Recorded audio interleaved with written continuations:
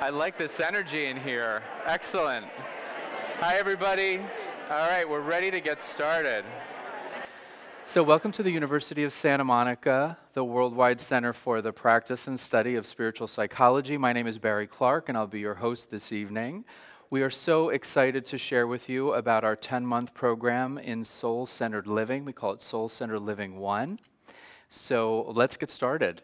Uh, prior to their work at USM, which began over 35 years ago, uh, both of these individuals were instructing master's and doctoral level students at New Mexico State University. Acknowledged as the pioneers and authorities on spiritual psychology, their book, published by Hay House, entitled Loyalty to Your Soul The Heart of Spiritual Psychology, is now available in 12 countries and eight languages around the world. Both are licensed marriage and family therapists, and Mary is a clinical psychologist. And recently they were chosen by Hay House as two of their top 100 authors and were featured on Hay House's World Summit, where they were interviewed on the topic of spiritual psychology by Dr. Joan Borysenko. And that interview has been heard by over a quarter of a million people around the world to date. So, ladies and gentlemen, please help me in welcoming up to the stage USM's President and Chief Creative Officer, Drs. Ron and Mary Hulnick. So, shall we launch? Let's let's go. All right. So we we assume you're here to learn a little bit about spiritual psychology. Uh, we're going to do our best to to just share with you some information that hopefully in a year you'll understand what it means in terms of your experience. And we'll talk about the subject itself, and then Mary's going to talk about the uh, the program, what it looks like, how it's how it's structured, things things of that nature. So, spiritual psychology, spiritual psychology. Just what is spiritual psychology, and more important, what difference does it make anyway? Like, who cares? So that's what we hope to interest you in here this evening. So let's start with the word psychology. So if you were to look up the word psychology in the dictionary, what you would find is that is the science of mind and behavior. And we all know that. We go to medically trained therapists and we, they take notes and we get a diagnosis and sometimes we get medications prescribed and all of these things. And, you know, it all serves purpose. I have no argument with any of it. But if you look up the word psyche in the dictionary, what you're going to find is breath, principle of life, soul. What happened? Where in psychology does this breath, principle of life, soul come in? The answer is in most places it doesn't. It just doesn't. They don't deal with that. that that's left to religion. And, you know, fine as far as I'm concerned, but it seems to me that we ought to look more deeply into that. And when we did, we found out, oh my God, uh, it just opened up a whole world and a whole dimension of things that we could do. And so,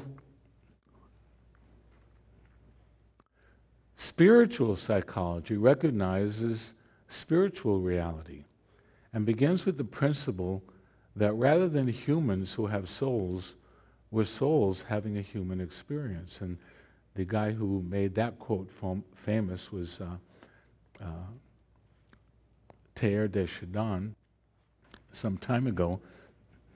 He was pretty much right on the money, but we, we've changed it just a, light, just a little bit.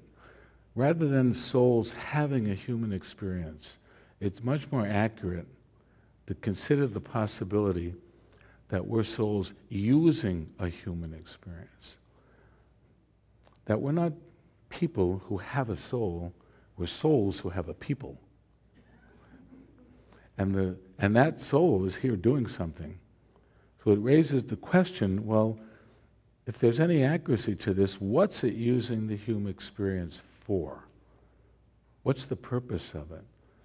And the answer to that, or our answer to it, is one thing and one thing only awakening. Awakening into the reality of what it truly is at its essence. This is a whole uh, different way of approaching psychology. But you know, this is really very consistent with the way that uh, psychology in India has always been structured. It was always about self realization.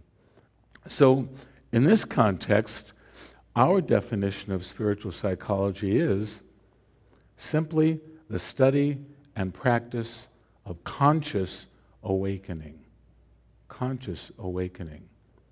In India, they do this through yogic meditations and all of these kinds of things. And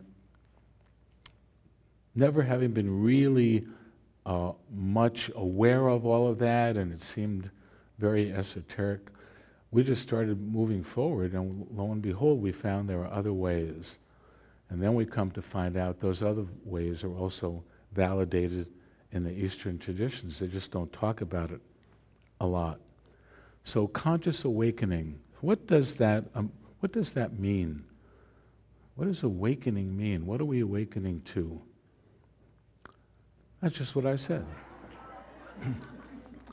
So let's take a look at that because in order to understand what it means, you have to understand a little bit about the reality that we're living in. So here we are. We're in these bodies, we're walking around here doing stuff. And the first thing that we're aware of, and understand that we're talking about things that are difficult to conceptualize. So we've done our best to put it into diagrams and things that hopefully will convey the idea of it. So we're existing in a physical world reality. We're sitting in this room right now on these chairs listening to this talk with all this equipment. Physical world reality. And physical world reality is polarized. So there are negative experiences and there are positive experiences. And what we would like to have our lives be doing is going more from negative experiences into positive experiences. If we're going to have a reality that does that, we have to have some way of measuring it. And very often that's talked about as goals. We have goals, things we're trying to achieve a better job, a better relationship, uh, more money. You know, you, you get the idea. Now, what's interesting about all of this is while we're doing all of this, we're existing, whether we're aware of it or not, at the same time in a whole other reality. We refer to this as the spiritual context, and we talk about the awakening process as a soul line. It makes it real easy. When we say goal line, soul line, we know exactly what we're talking about. So if you think about this, well, hmm, if my if I'm working to awaken on the soul line, what does that mean? What do I awaken into? And what's very, very interesting is that all of the major spiritual teachings that have ever existed on this planet, all the mystics, all the sages, uh, all the people who were the enlightened beings, all the people who started religions, they all said exactly the same thing. There's absolutely total agreement about it. And what they said was that what you go more and more into, what you awaken into, is the reality of love. No argument anywhere on this. Now, and this is really important, I really hope you hear this. It doesn't mean you become more loving. Does not mean you become more loving. How can you become more of what you already are? What you become is more aware of your own loving essence. And that's why we call it awakening. That's what you awaken into. It's really a very natural and simple process once we understand what it is that we're really dealing with. Now, here's where it really gets interesting. It has always been this way. We live at a very interesting time in history. 2015. 2015. We are right at the start of a whole new age. The way things are measured over time, spiritually, they're measured in ages, 2,000 year cycles, if you know anything about that kind of thing. Um, anyway, it doesn't matter that you know.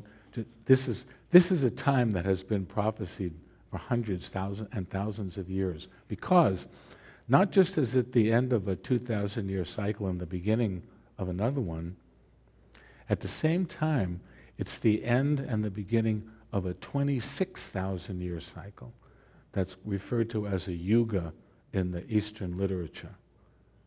That's a, that's a big chunk of time. I mean, takes me back to when I was a kid. so, what, what are the implications of that for us? Well, the implications are that this whole uh, way of looking at it, the frame of reference has shifted and is shifting. And this is the way it's shifting. The whole context of the whole thing is both moving upward and it's shifting to the right. To the right, meaning into a more positive direction.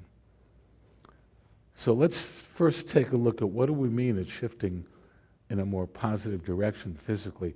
Well, think about it. We have things today that 200 years ago people couldn't even imagine. Little things like running water, you know, just to name one obvious one, uh, the level of nutrition.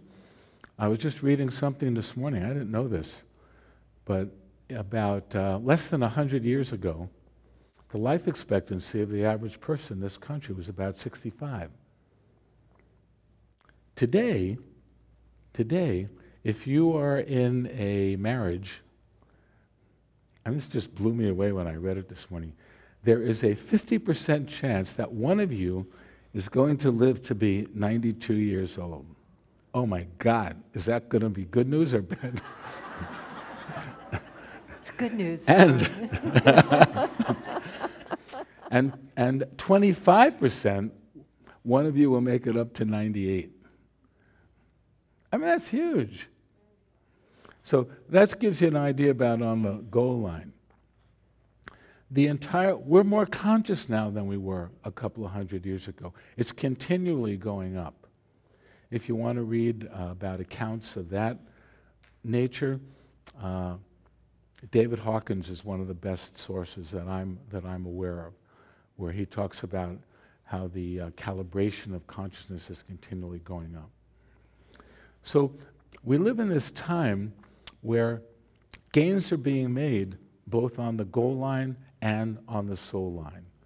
The gains on the, on the goal line are in terms of uh, manifestation on in physical world reality. The gains on the soul line is what we're talking about and what we're interested in. Now, here's the really important part. as this thing continues to move in this direction, more and more it's becoming evident that the skills necessary to step forward into the world that is moving in this direction are to be found in this direction. The thinking is changing. So it's turning out all of a sudden that spiritual awakening and the skills that go with that, if you're in a program that has skills in it, which this one is very highly uh, con- conducive of, are going to be the things that people need most to go forward as this whole thing continues to shift. This is why you see so much of an emphasis these days on things like conscious business and medita- mindfulness and business and all of these things that are, that are now coming forward people are starting to realize this is the direction that it's going. We've already done presentations for people like Whole Foods to bring this into their organization. Uh, we, we had some people in the room, for those of you, I see some of you here from the recent Loyalty to Your Soul weekend. There were two women in there from the Institute of Noetic Sciences. So it's moving in that direction. People who are generally interested in this are also generally asking themselves three questions. See if this, if this relates to any of you. They're asking themselves, Who am I? What is my purpose? And how can I make a more meaningful contribution and live a more fulfilling life? I had a guy in my office today who was, uh, I don't want to use his name because let's just say he was at the top of his field uh, in the entertainment industry. And he was, he had reached the age of uh, mid 60s, and he had, he had, he was sitting in my office telling me about how he was at the low point in his life. You know, which was strange to me. How, how, you know, how come? What? Because he, he, he realized that all of it, all the success, all of the fame, all of it, didn't fulfill him. It wasn't fulfilling. There had to be something else. He's starting to ask these questions. Is there a deeper purpose than just you know, being a big name? Well, if you're interested in the question, who am I? You can only answer that question on the soul line. You cannot answer that question no matter what you do on the goal line. There's no answer there for that question. If you're asking the question, what is my purpose? Well, that one you could, you could do on both lines. On the soul line, everybody's purpose is to awakening. That's why we're here. Some people come in with a purpose in physical world reality. They know exactly what it is that they want to do. Some people came in, uh, I want to be a doctor, I want to I want to be a musician is a big one for a lot of people, believe it or not. And it's not just I want to be a musician, I want to be a bass guitar player. I mean, they seem to, people who have that, they come in knowing exactly what it is that they want to do or want to be a composer or get the idea. How can I make a more meaningful contribution and live a more fulfilling life? You can do that one on both lines. So consider this. As you awaken, the very fact of you awakening is you making a meaningful contribution into this world because you're, you're lifting the total frequency of everybody. This is not something that you know, other people are going to do. It's a, it's, it's a person by person job. Obviously, there's many places you can make a meaningful contribution in this world. I mean, tons and tons and tons of places. So, what's involved in awakening? Ron, you got my attention. Now, what's involved in awakening? Well, one of the things that we like to do is we quote a Persian mystic poet, Jalaluddin Rumi. And Rumi said, Your task is not to seek for love, but merely to seek and find all the barriers within yourself that you have built against it. Isn't that an astonishing statement? And we have an addition to that, to that statement, which is what spiritual psychology is all about. Not only that, to learn how to dissolve them, to be involved in the process of dissolving them. See, Every, uh, every one of these barriers that you resolve, or another word for that would be heal, or another word would be to bring to completion or lay to rest, whatever terminology that you want. It's like you're taking away one more barrier, and so you get to see more of who you truly are. It's a process of taking away, not adding on. Adding on is ego thinking. So, if we're going to consider this, then we have to think about these barriers. What are they? In order to understand them, at least conceptually, you have to have a, at least a rudimentary understanding of the way consciousness works, how your own psyche works. So let's review that quickly. Physical level, we already talked about It's our bodies, it's moving around, it's our jobs, it's our relationships, it's all of that kind of stuff. But as we go inside, as we start to just go inside, we realize there's a whole other aspect. See, outside is things that we do out there. But it, there's, a, there's a, a being in here that's experiencing the doing of all of that. And so when we think about that, the first thing that we come into contact with when we go inside is this thing called the mind, the mental realm. Very important. How we choose to think about things. There are entire religions that are built up on that idea. And they're valid. It's valid. Very important. I mean, what you think, you tend to uh, build your reality around. It's very true. Change your thinking very often, and your world changes. It's very true. But as we go deeper inside, the next level we come up to is what we call the emotional. How we feel about what's going on outside. There's what we think about it, and then what we feel about it.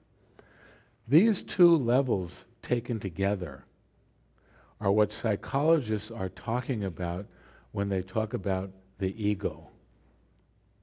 These are the levels that the ego deals in. It's like that part of you, that's your mind, that does your thinking, and that does your feeling. That is your ego. No matter what you're thinking, no matter what you're feeling, it's still your ego. So just, you know, understand that. So as we go deeper, there's another level, the unconscious. We don't go digging in the unconscious here at USM. Because what we have found over the years is that the stuff that's in there is in there for a darn good reason. It's not ready to be brought forward yet. We're not ready to deal with it. And we don't have to be. Because we have found that as we do the work, whatever's down there, it's like time release capsules. When we're ready, it comes bubbling up to the surface. I mean, how many of you have had the experience where you become aware of something and you go, oh, I didn't even know that was in there. Anybody ever have that experience? I know I have. So all of these levels taken together have that polarity that I talked about in physical reality. And you know, it really has to be that way in a creation or in a, a, a system such as we're all living in. You can't have positive without negative, or you wouldn't know what it is. For example, you can't have light without dark. You, it, you, there's, there's no way to reference it. You can't have heat without cold. But really, there's really only one thing degrees of light. You can't measure dark, you can't measure cold. We measure light, we have a light meter, and we have a thermometer that measures heat. So when we talk about dark and cold, these are just linguistic conventions so we can talk about stuff. It's exactly the same way in all of these other areas. As we go deeper inside, and here's where spiritual psychology comes into its own, there's a whole other level. We refer to it as the authentic self. Just recently, I found out that in the Eastern systems, they call that the natural self. I never knew they had a, a name for that in there. If you want to do research on that, look up the fourth level of samadhi. Oh, what about the first three levels? Uh. Hmm. So notice at the authentic self level, there's no duality. We've transcended the duality aspect of ourselves. Well, then what's there? Well, basically, all that's there is unconditioned love. That's all that is there. Nothing else. Isn't that wild? Nothing else there.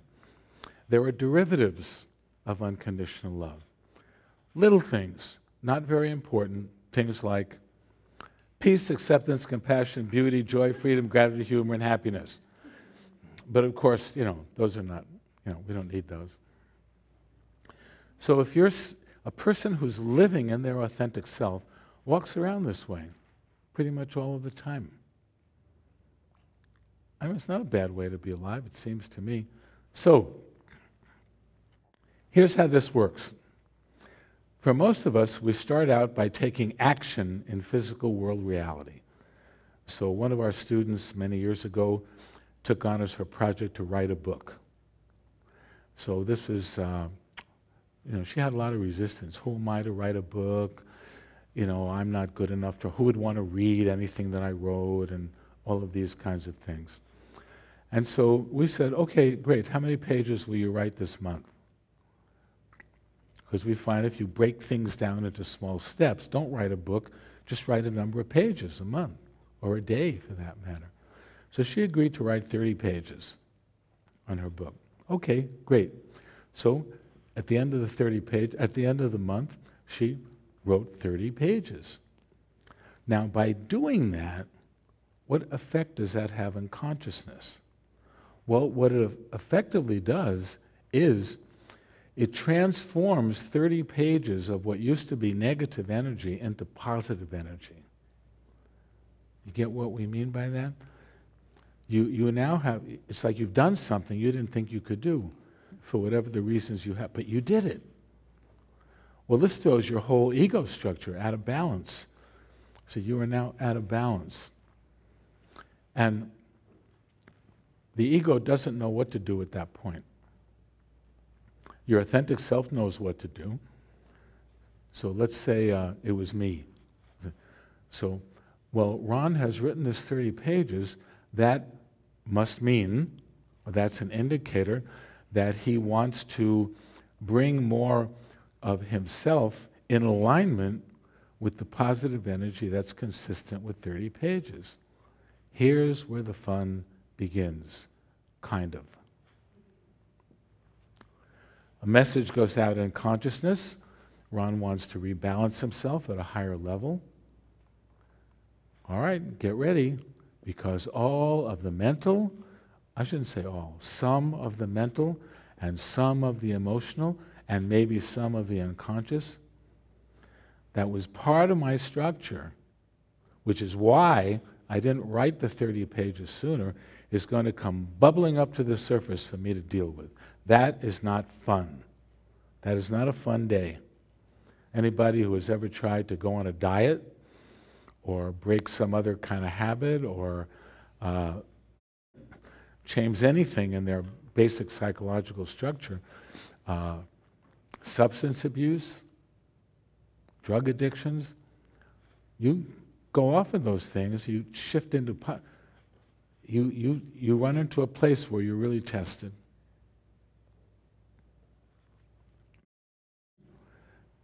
So let's say there was a technology available that was precisely designed to work with those levels, to help you heal, let's call it, or transform those areas on the other levels that coincide with the 30 pages. What would happen? Well, what would happen would be that you would now rebalance at a higher level. To that degree, you would be awakened. Well, then what? Time for the next 30 pages. Why we say in USM growth is a process, not an event. I mean, there are very few people that I know who all of a sudden they awoke. There are, there are stories of people like that in history, but not that many. Not that many. So, well, all right, what are those barriers? What are those barriers? What are those things Rumi was talking about that exist in those levels? We're going to talk about the major barrier that we work with in spiritual psychology. Anybody find themselves ever doing this? No, none of you? Oh, you don't need to be here then. this is epidemic on our planet these days. And we got millions of people running around blaming other people for what's going on inside of them. You know, and none of you, of course, but you know other people that are doing that. I'm sure, I'm sure that you do. I'm upset because. I mean, interperson- uh, intra-personally within yourself, every time you become upset, you're in, you're in emotional suffering. What we, what we refer to as unnecessary, because you don't have to be in that kind of a context. There's a way out. We'll talk about it in a minute. Let's look at some of the common upsets, because we actually did a, uh, we actually did a, um, a survey in uh, one of our classes to see what, what were people's common. Number one, I'm upset because you don't listen to me. There's a rule written someplace. Everybody should listen to me. No matter what I have to say, it's just a rule. And when they don't, I get upset. We had a, we had a woman in class one time that was really great. She said, uh, My boyfriend told me that I don't listen to him. That is so hard to hear. I thought that was really, I thought that was really great. People don't understand me. That's another rule. I think was one of the, probably the fourth commandment. Everybody should understand me. And when they don't, it's terrible. something needs to be done about that. I need to give them something, some substance to take that they would all understand me. Life is unfair. That's a big one for a lot of people.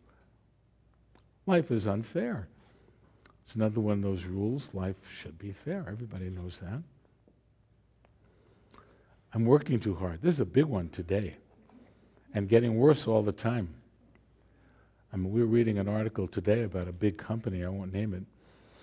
Uh, maybe you all, maybe you saw it in one in the newspaper, but it, that they were talking about working in this place.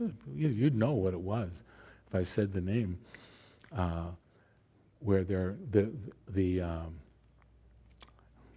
the guideline for working there is you have to work very, very, very hard up to your, up and beyond what you're, what you're capable of. That is not unusual for, for um, emails to be sent and received at 12 o'clock midnight. And if you don't answer promptly, you're called to task for that. Mary and I looked at each other and we go, all right, this is good. There's one place we know we don't want to work.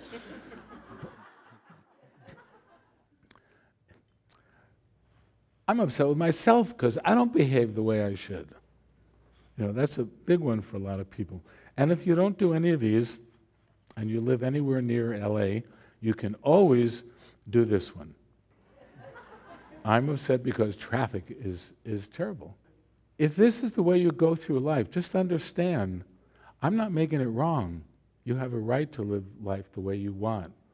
But I would, tell, I would, I would su- suggest the possibility to you or consider the possibility that this is a complete and total victim position. Why is it a victim position? Because every time you do one of these things, you are placing power into other people. All they have to do is do that thing and they control you and they make you upset. You know, he did this, he ma- it made me upset. You make, you make me upset. My upsetness is your fault. So, as I said, this is going on uh,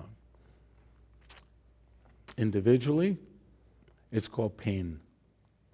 In relationships, it's called high divorce rate. It's called uh, domestic ab- abuse, domestic violence, all of those kinds of things. Internationally, it's called war. If you think about it, what's a war? A whole group of people saying we're upset because and it's your fault. And we're saying, no, we're upset because and it's your fault, and let's go to war and kill each other so that we can decide once and for all who's right and who's wrong. And then, of course, the winner claims that God is on their side. So this is just where we are right now. What opportunity to grow from that, to come out from that. So, here's the question Is there an alternative Do I am upset because? And if so, what is it? Is there an alternative? And if so, what is it? Well, let's take a look at what it would look like. See, if you do I'm upset because, the natural place for you to look to try to bring a resolution to this is where you'd look to change what you perceived was at fault. You know, good luck. I've never met anybody who was successful in that. Well, what's the alternative? Is it possible that we can actually identify the place inside of us that's upset? That we can connect with that place? And further, that we can heal it, like erase it. Well, what would happen if we do that? Well, instead of I'm upset because, where you would find yourself is at the authentic self level, and this would be what you would experience. So, this process is a goal for making that transition. That's why the program goes on for at least 10 months, because this is not, we haven't been brought up this way. We have to really think about this and we have to really apply principles and things it's not necessarily an easy process. So, how do you do it? What's involved? Good question. We start out, I'm upset because. All becauses, anything that you say disturbs your peace. In the spiritual context, anything that upsets you is or are in reality triggers to what we call unresolved issues seeking resolution and part of your spiritual curriculum. So let me say that again. Anything I'm upset about, that I say I'm upset about, and I get angry or upset, in the spiritual context, in a way, it's good news. Because it's, rather than that thing upsetting us, what it's doing is triggering a place inside that is already positioned and it doesn't like what we've just brought forward. Where does that happen? Of course, in the ego, not in the authentic self. So if you're willing to take steps to work with this, then we're in business. Most people drop out of this kind of work because they're too stuck on their position. I just tell you that up front so you understand it. So, where are these barriers? That's that stuff that's in here. It's the material that tends to surface when you start to take action that will, is, is uh, designed to move you forward on the goal line. This stuff will come up. So, on the mental level, we're talking about limiting beliefs. Limiting beliefs. We do a lot of work with people on limiting beliefs. On the emotional level, see, working with limiting beliefs is great, but it's not enough because the disturbances occur largely at the emotional level. You have to get the feelings to speak and tell you what it is that they're about and what's their story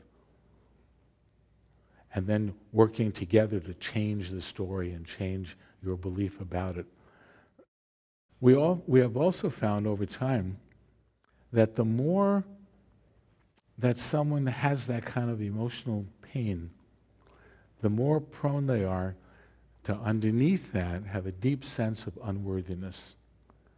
A deep sense of unworthiness. It's a basic underlying uh, unresolved issue. Because how can a, a loving being, which is your essence, be unworthy? It's not possible. Knowing that information and experiencing it are two different things. And that's what we do here. So, how do we do that? We also find the place inside of the authentic self level And we, you can look at it one of two ways. You can look at it as taking the unresolved issue and bringing it here where it just dissolves, or taking the loving of this level and bringing it up here, in which case it dissolves. It doesn't really matter which one, it's the same, same thing. What's important is that it resolves. So we say that healing is the application of loving to the places inside that are hurt or suffering. But you have to get some experience with that place inside so you know how to apply it. And again, this takes some time. So, what does this look like? This looks like what we were talking about in the earlier slide. We resolve the issue, we move forward on the goal line. We resolve the issue, we move forward on the goal line.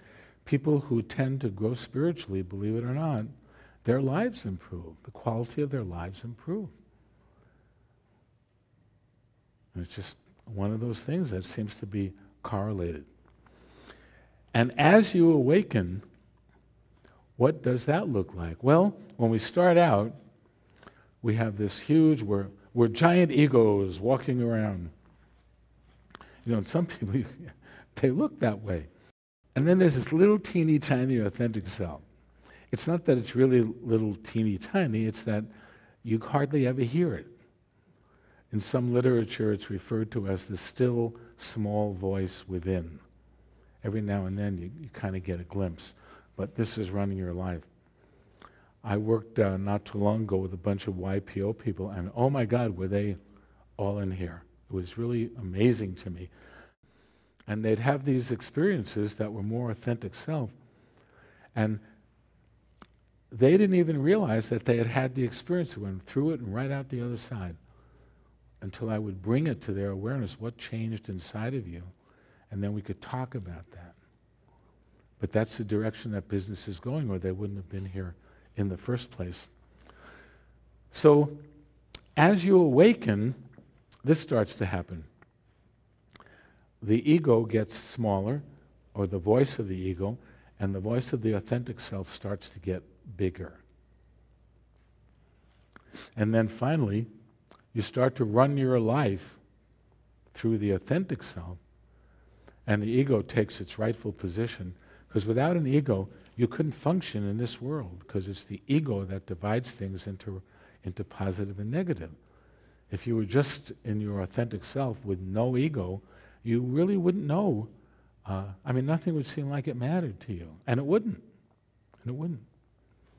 So don't worry, we got a long way to go before we have to be concerned with that. But the really enlightened people these days are coming largely from their authentic self, doing work in this world through their egos. And we know a fair amount of them.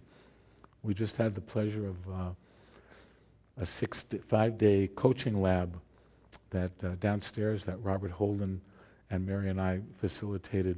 Robert worked with people mostly during the day, and then the three of us took sharing in the evening, and he's somebody that, that would fit that bill. So, with respect to all of this, we were listening to the Dalai Lama one time, and, and the question came up well, what kind of emotional curriculum is required? What kind of educational? What did I say? Emotional. No, that's wrong. what, what kind of educational curriculum is required to support students in their conscious awakening and living into a more fulfilling life? Very Dalai Lama ish question. And he answered that question. He said, My hope and wish is that one day formal education will pay attention to what I call education of the heart. Not the mind, education of the heart. Our entire educational system is geared toward the mind. It's knowing about, it's not real knowing.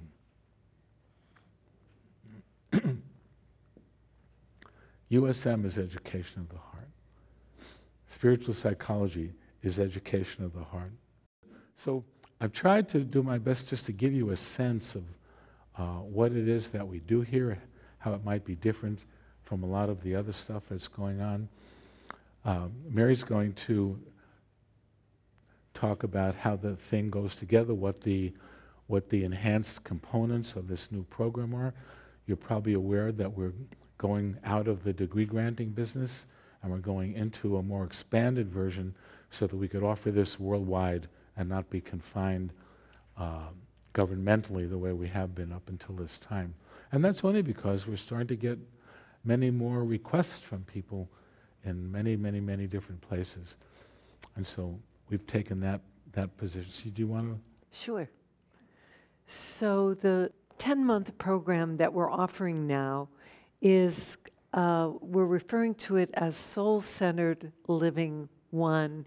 It's a 10 month certificate program in spiritual psychology. I am so excited about this program. We've been offering this program really, this will be our 35th year. And so it's been new, through numerous iterations and refinements. And this will be our, our latest and greatest, I must say.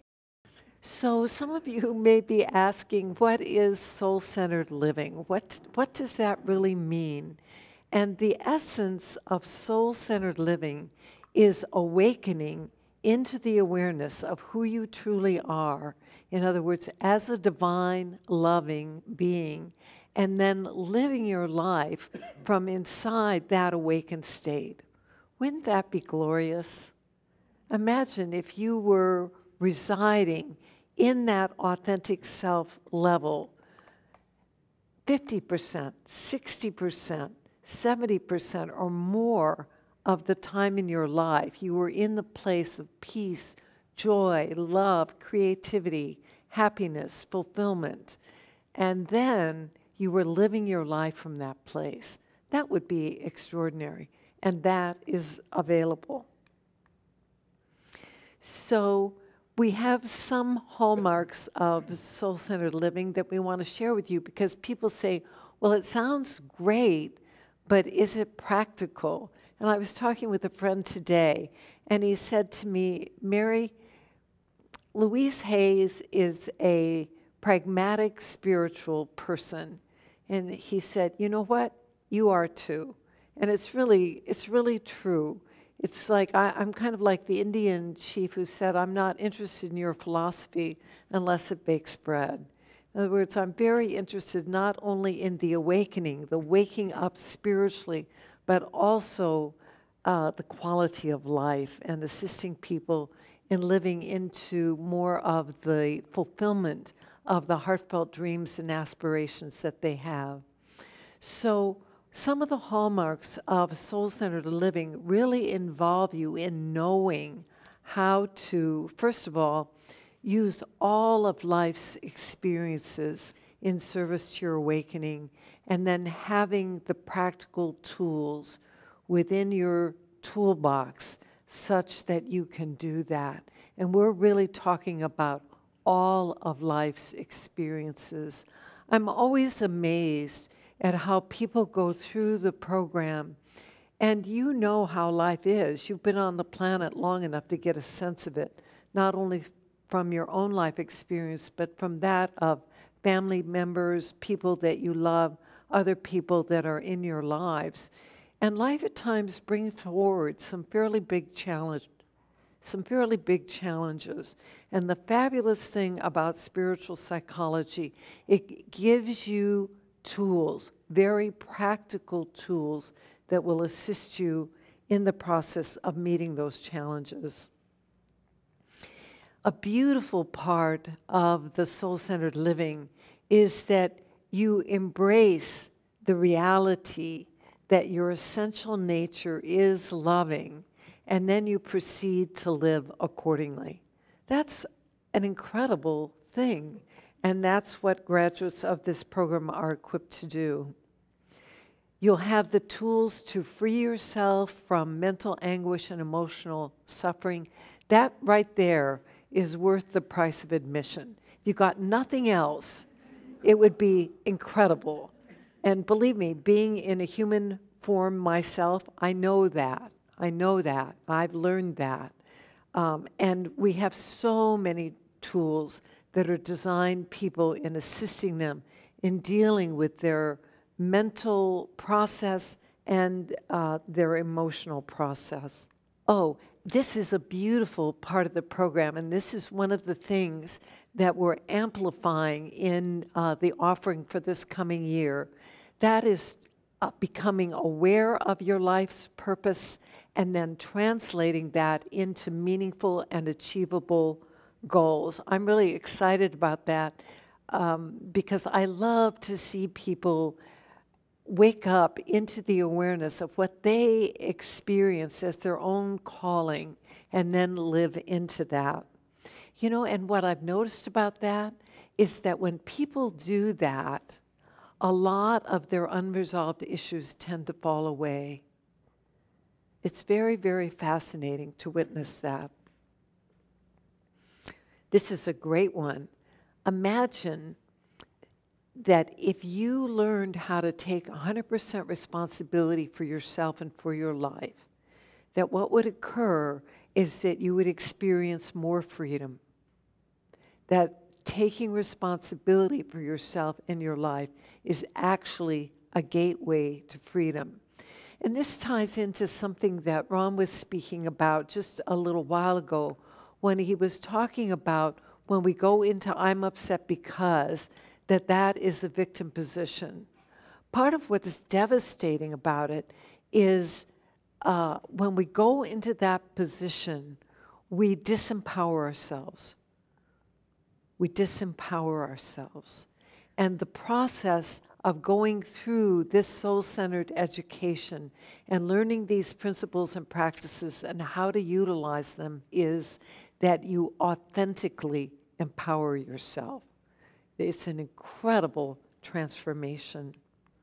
And think about this that a byproduct of this work is that you live into joy and true happiness here and now. Just as the love is already inside of you, joy is already inside of you, as is true happiness. So there are eight major elements of the program. I'm going to go through these quickly just so that you can get some of the highlights of what's included. We include 30 soul centered skills for awakening, issue resolution, and the revelation of the authentic self. So we spend a fair amount of time in the class, in the program, where you have the opportunity to learn and practice these skills. And then you get to take them out and practice them in your everyday life. And we'll talk more about how we do that in class in a little bit. We also have 33 spiritual psychology principles that we, um, I can't say we really developed them. It's more like they came forward over the course of the years. And they are really designed to assist you in waking up to what it means to live inside the spiritual context. If you just read the list of these 33 principles, it's like they are a radical paradigm shift in terms of reality and the, uh, the way you can approach living your life from inside that context. This one's really fun because we have an aspect of the program that focuses very specifically on assisting you in creating and living a more fulfilling life, both personally and professionally. So, this is really about where are you now? What is the future that you want to live into, and how to go about manifesting that? And then processes for clarifying and aligning with your life purpose. I love that part because, as I said, people just, when they connect with that, it's like uh, it's a game changer. Ron mentioned the various levels of consciousness physical, mental, emotional, and spiritual. And there are different tools and methods for working with each one of those levels. Different tools. Very important to understand the difference between these levels and the tools for how to work with them. Oh, and this is a beautiful part of the, of the program, which has to do with ways of caring for yourself as a divine being having a human experience. Where do you learn how to really care for yourself physically, mentally, emotionally, and spiritually? That is built into this program, and I consider it so important. This has been a part of the program from the very beginning we refer to it as self nurturing. Self nurturing. And it's more than just like uh, trips to the spa, you know, getting a manicure, getting your hair done, things like that. Those are all nice on the physical level. But what if you learned about how to really nurture the experience of the authentic self inside of you so that you could live into that more fully? And the beautiful aspect of the program are the people that are a part of it. The USM community in total is, is amazing. It's really an amazing group of people. And each class becomes its own community within that. And there's a tremendous level of support that is given and received through that process. And here's the, the, a very special feature that we're offering for the first time. We'll have the classes in the weekend format, format, but between classes, we are in the process of designing and developing these wonderful little between class activities that are designed to support you in integrating and utilizing these principles and practices in your everyday life. The weekends are fabulous. They are so expansive, so uplifting. They are taught in uh, an, a spiritual energy field. It's an incredible blessing to be a part of them. And now we have this additional feature of these very creative, fun little online activities that will actually help you remember what you've been learning and help you apply them in your everyday life. And they're across every, um, what do we call it? All mobile platforms. It'll yes. Be, it'll be available. Yes. And Licia is our Director of Online Education, Licia, and uh, also works with us in facilitating this program. So we are just having the best time creating this, and it's really just looking beautiful. I, I'm so excited to see how, um,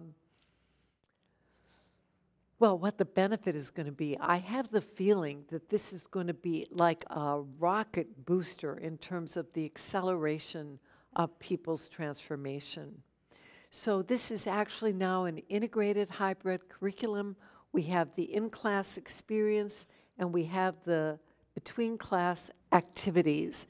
And being in the classroom is really so amazing because you get actually the experience of what it's like to operate for two and a half days inside the spiritual context. You have the opportunity to learn and practice these tools.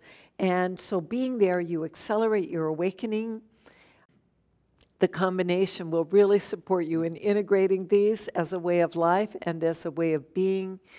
And uh, I think one of the greatest benefits is the inner shift in terms of the experience of meaning, purpose, and fulfillment that you have.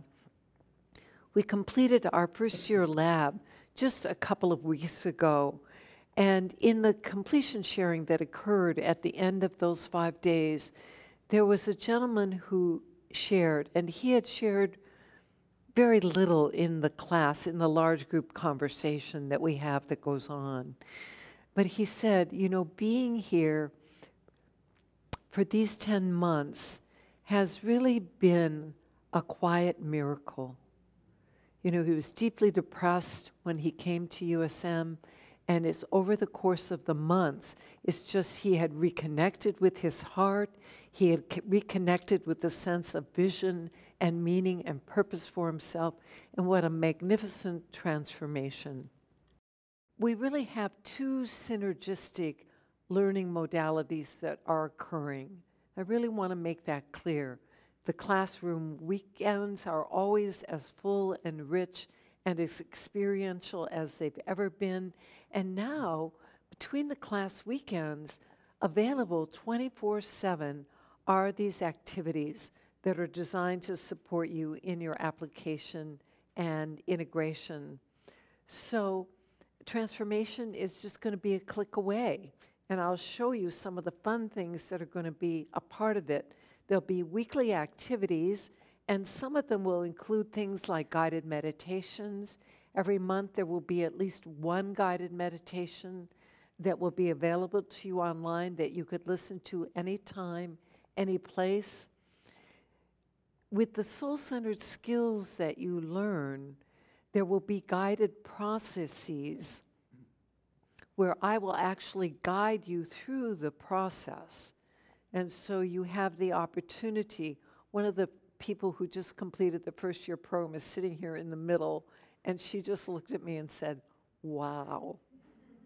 So this is really uh, this is really going to be a very supportive thing. The group as a whole will have a private Facebook forum, which will be really wonderful because it is such a, a way to connect with people and, as I said earlier, to give and receive support. There'll be inspirational soul moments. Some of those will be by way of quotes, inspirational quotes. Some of them will be messages from the faculty.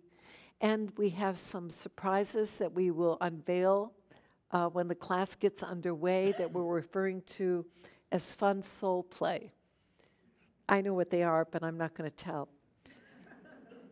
Uh, so at USM, uh, I think this is a very important point for me to, to really emphasize to you, and that is the nature of what it means to participate in a soul centered education.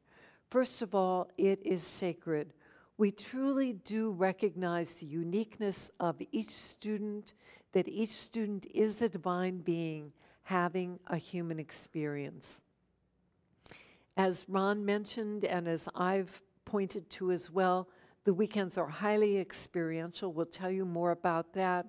The education is practical and relevant. This is not just about coming here, we uh, chant, we meditate, we pray. This is interactive. This is very grounded and um, practical. Um, and it's relevant to your everyday life. It will transform your everyday life. It's supportive, it's deeply healing and transformational. There's a quality of loving excellence. The, the program is delivered with excellence, and uh, we encourage the students in their own personal excellence because there's a lot of fulfillment that comes from that. The energy field and the classes are very alive and dynamic. They're, they're amazing. I love being there. They're joyful and fun. They're very creative. I'm the chief creative officer here at USM, and I, I was reflecting today on um, just all the elements of creativity that have been woven into this curriculum over the course of the years. And of course, it's inspirational. And perhaps that's one of the greatest values because it inspires you more into the opportunity to really wake up into who you are, to stand up in who you are as a divine loving being, to become more aware of your gifts, and to turn and share your gifts with other people. So you may be wondering, well, who is this program for?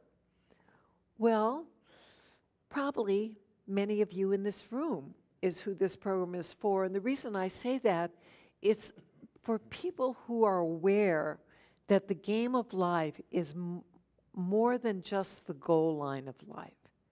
It's more than just about achieving and accomplishing and uh, reaching those benchmark goals. It's for people who have a sense of heartfelt calling, who want to make a meaningful contribution with their life, who are aware that there's something more happening on the planet at this time, who, um, who feel a calling to do this kind of work in their consciousness, who have had possibly some kinds of experiences um, that have made them aware there's more to life here than five sense reality. And it's important for me to live more fully into that. So now let's talk about what is a class weekend like? What is a class weekend? Well, what I just shared really is kind of it in a nutshell. But when we come together on Friday nights, we always start with some large group sharing. And this is really important because we are a community. And the sharing is always uh, meaningful, it's heartfelt. People may share about some personal triumph that they've experienced, some win that they've had. They may share about an intention for their participation in the weekend. They may share about some challenge that they're experiencing. And after that, generally, what we do is we um, introduce a soul center basic skill. The very first night of the very first weekend, we introduce two of the most foundational skills seeing the loving essence and heart centered listening. We do the basic skill work in what we refer to as trios. There are three people in a trio. One is the facilitator who's learning the skill, the other is the sharer who is sharing about something that's meaningful and important to them, and the third person is a neutral observer. Their role is a silent role. They're just there as a battering of loving, a battery of loving support. So we have a period of time where the sharing and the facilitator are having a conversation together. Uh, the facilitator is learning the skill, uh, and then that'll come to completion, and they'll rotate seating. So by the time we've completed a trio, there have been three rounds, and everybody has had the opportunity to be the facilitator, the sharer, and the neutral observer. We have activities that will focus on life purpose. Those will also generally be done in trios. We have aspects of the weekend that have to do with, um, we talk about it really as co creating your future. It's like, where are you now? What are your visions for yourself? What are your aspirations? What is, what is it that really calls to you that you want to move into manifestation? So the weekends are very rich, and there are a variety of activities and skills. There's a lot of um, interaction with your classmates. You really will get to know the people in your class. And it's kind of synchronous often how people find them, who the other people are that they find themselves within trios. They always choose them themselves, but sometimes uh, it's very frequent in the class that people make lifelong friends. So let me sum this up um, by saying the transformed world that we all yearn for and seek can really only emerge first by the transformational work that we all do inside ourselves, that each one of us does inside ourselves. And so that work really is within your own consciousness. One of the principles of spiritual psychology is that outer experience the things that go on in our lives and the things that go on in our world are mirroring back to us things that are going on inside ourselves. And so the arena where really we have the greatest leverage is by doing this transformational and healing work in consciousness. So if you're called to this at all, we want to invite you to join us this fall and let's all awaken together. You know, we're still doing this uh, after these many years, and I wouldn't miss it. I'll tell you, it has, I feel that Ron and I have, um, well, we're our prime. yes, we're in our, there's no question about that. We're in our prime. But I think what I would say is I feel like maybe I'm one of the most blessed people associated with the school because uh, we've been involved with it pretty much as long as anybody. And um, it has been just the greatest blessing to be involved in this work, to learn from all the students that have come through the school to be able to serve the students that come through the school. There's some really, uh, I mean, as I said, this community is, is amazing.